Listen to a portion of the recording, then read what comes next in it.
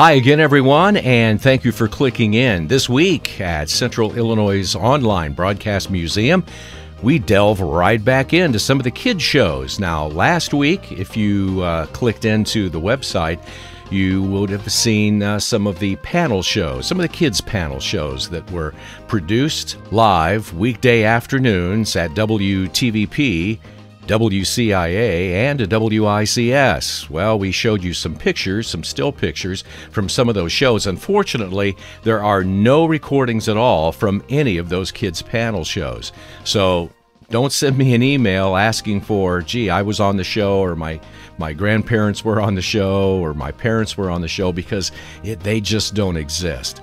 But this week, we're going to be looking at some of the cartoon shows, syndicated and otherwise, that were shown on weekday afternoons on the local TV stations.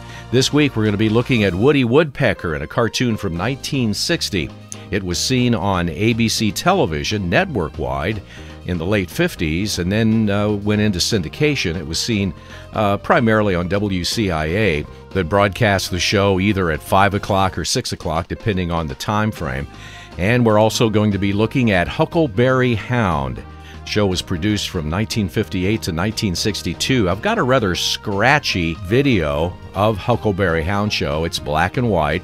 And uh, like I said, it's a little scratchy, but it does show some of the cartoon intros that were within the show itself, and even a cartoon for Kellogg's. So check that one out. Deputy Dawg, there's one for you. That was on WTVP and then later on WAND. It was sort of a filler, I think. Uh, it filled up a lot of gaps in the programming, but it was also uh, featured as part of the weekday afternoon lineup at Channel 17.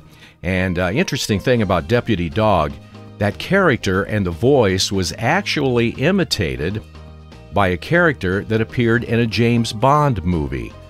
I'll show you and who that was uh, at the website. And we also will be looking at Rocky and Friends. It was from 1959 to 1964. It was one of the Jay Ward productions. And this cartoon series was under several different names, including Rocky and Friends, when it was on network on ABC, Rocky Bullwinkle and Friends, The Bullwinkle Show, as it was known on NBC, and even The Adventures of Rocky and Bullwinkle. We'll have uh, a number of cartoons from that series as well. Little Rascals, remember that? Those were the Hal Roach comedies that he did for MGM for a good portion of the 1930s uh, and even back into the 20s in silent movies. Uh, and it was later changed to The Little Rascals when it was in TV syndication, and it ran for a number of years and on a couple of different stations within central Illinois. And we'll also be showing you King Leonardo, also known as the King and Odie from the 1960s. It was part of the Tennessee Tuxedo and His Tales cartoon series that was on CBS on Saturday mornings.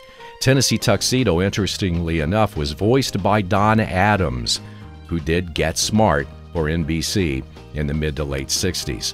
So, all of that this week as we delve back into some of the kid shows seen locally here across central Illinois. That's this week at Central Illinois' online broadcast museum at dougquick.com. Thanks for watching, and we'll see you at the museum.